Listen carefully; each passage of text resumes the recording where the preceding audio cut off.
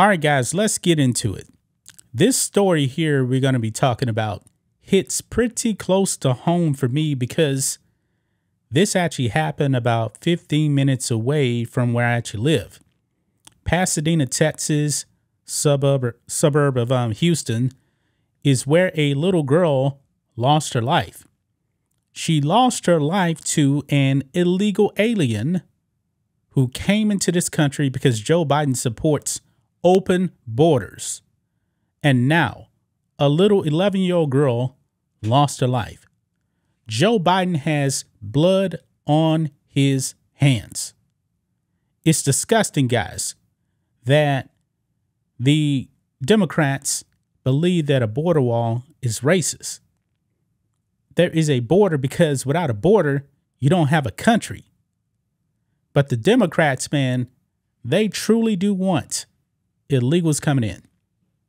Make no mistake about it, guys. There is a reason why leftists do not want you to see Sound of Freedom. Because that border is wide open. There's a bunch of trafficking, fentanyl coming across the border, but Democrats are okay with that. And you know what, guys? There's people that will still go out there and vote for Democrats, even though they're witnessing the destruction of their own country. There are Texans at the border. Their property is being destroyed by illegals crossing the border. Now, this one particular illegal that crossed the border, it has turned deadly now.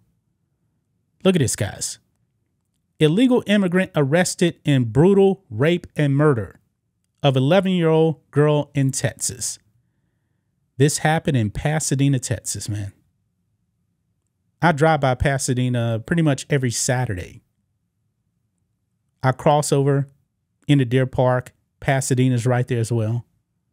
And this really, really hits close to home. Now, Pasadena is majority Hispanic. And from what I actually understand about um, Pasadena, there's quite a few illegals over there. Now, it's been an open secret, guys, that in Houston, there is a bunch of illegals. That's just the way it is. But it shouldn't be like that. If you actually enforce border policy, this would have never happened. But Joe Biden is perfectly okay with open borders. Democrats, perfectly okay with open borders. And how do people in um, Houston vote? They vote for Democrats. Let's read this, guys because we're going to be jumping in over to uh, KPRC, the local Houston affiliate of um, NBC, because they don't actually call this guy an illegal alien. But let's read this here.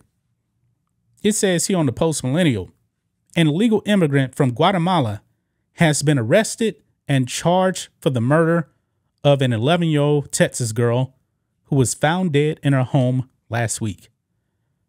Juan Carlos Garcia Rodriguez, 18, was arrested in Louisiana on Saturday by the Shreveport Police Department. Rodriguez has been charged with capital murder and is waiting to be extradited back to Texas, according to KHOU. That's a Houston affiliate out here.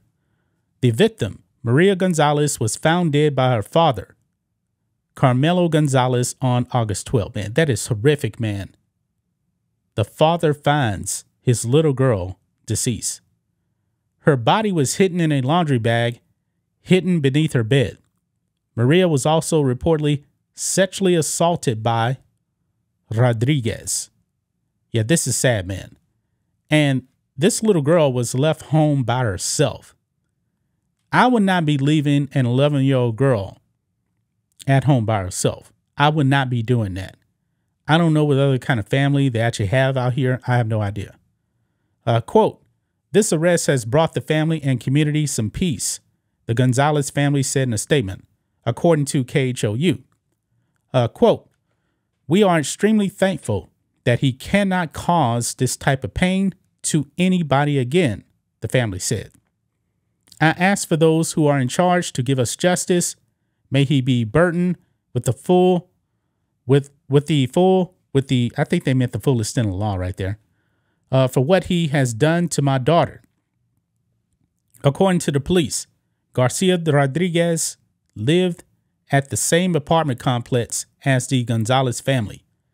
Officers located a key at the crime scene, which they believe is evidence that belongs to the suspect, whose DNA was swabbed at the scene.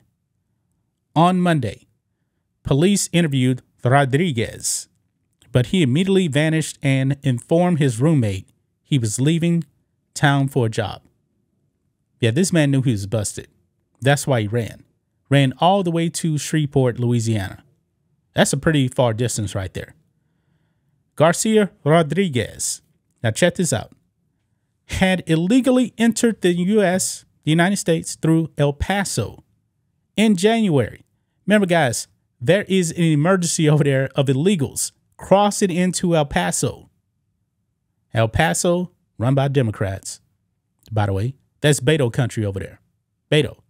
So this killer entered through El Paso in January, but had been granted release upon arrival due to having a sponsor located in Louisiana after he turned himself into authority. See, see, guys, that's that's the fits right there.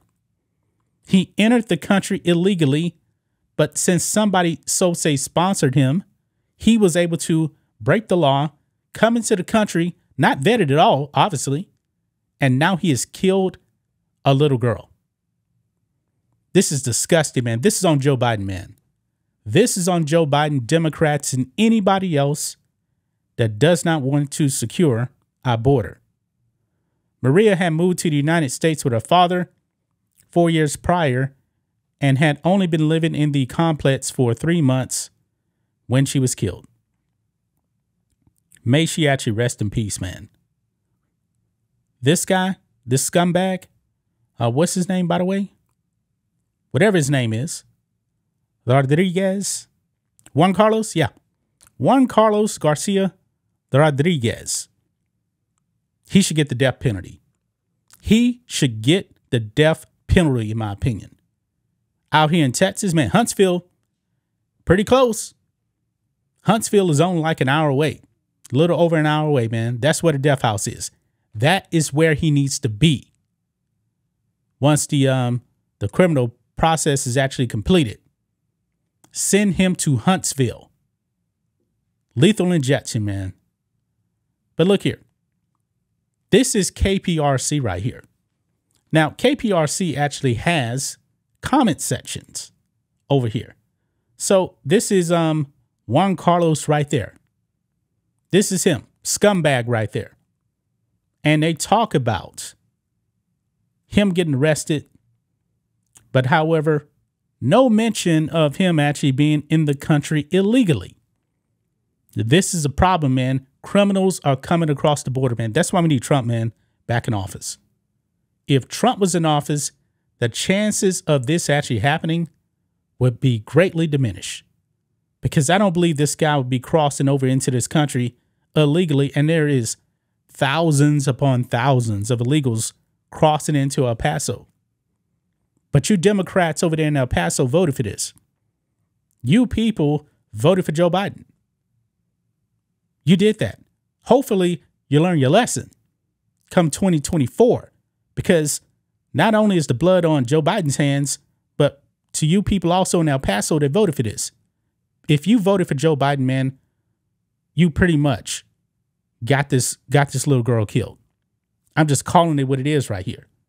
But the reason I'm actually bringing up KPRC right here, I watch them in the morning because I want to see what kind of craziness they're talking about. Also, you know, local weather. Okay? But right here, I do have an account with them. John Matrix right here. That's me. And I made a comment here like a day ago. Look here. I don't know if you guys can see this or not. I actually wrote, I'm the only one that can see this now. I put said KPRC, he was here illegally. He is an illegal alien. And guess what they did? They deactivated my comment. Right here it says con content deactivated. Why? And we know why. They said your, your comment appears to violate our community guidelines and has been deactivated. Why? Because I called an illegal alien an illegal alien. It seems like, you know, they're trying to protect this criminal right here. These scumbags, man, don't deserve protection. He is an illegal alien. That is a legal term. And this man should be sent to the death house for what he actually did to this 11 year old girl. Shame on you, KPRC. Shame on you. And shame on anybody that supports open borders because open borders got this little girl killed. Shame on you, Joe Biden. Shame on you, Democrats. Shame on anyone that supports this. That's just my thoughts on this. What do you guys think of this? Black and White Network fans, let us know what you think about all this in the comments. Make sure you subscribe to the channel, and we'll catch you next time.